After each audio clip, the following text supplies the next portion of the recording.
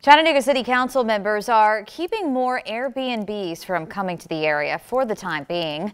This after some residents spoke out against the vacation rentals. News 12's Brian Armstrong has reaction from both neighbors and councilmen in tonight's top local story.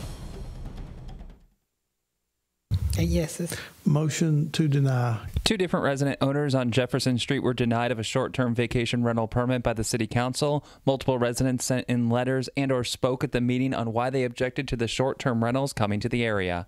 We're just a really family-friendly neighborhood and we are all great friends and vacation together and go out to dinner together and we just wanted to keep it that way. We get to, to see everyone. We know our neighbors. We, we talk to them on a daily basis. When we've got Airbnbs behind us, we see regularly those people. I don't know who they are. My kids play in that alley. They also play on the street. Now we're going to have more folks that we don't know who they are. Derek Taylor with Bellanova says his client purchased the home with the intent of turning it into an Airbnb and they felt they addressed the community and council's concerns regarding noise and parties.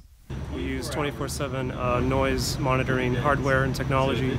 So if they, uh, a, a decibel level goes above our threshold, we're immediately notified 24/7, and we can prevent that from happening. Council members say they denied the request due to the amount of pushback from the Jefferson community. Definitely understand all the provisions that uh, the Airbnb uh, managers and people that own it wanted to take, uh, but this community definitely is uh, in need of some work and uh, especially due to traffic. I've had some issues down there myself.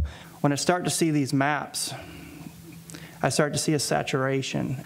And I just think at some point we're going to have to have a serious talk about the number of these businesses located that are taking homes.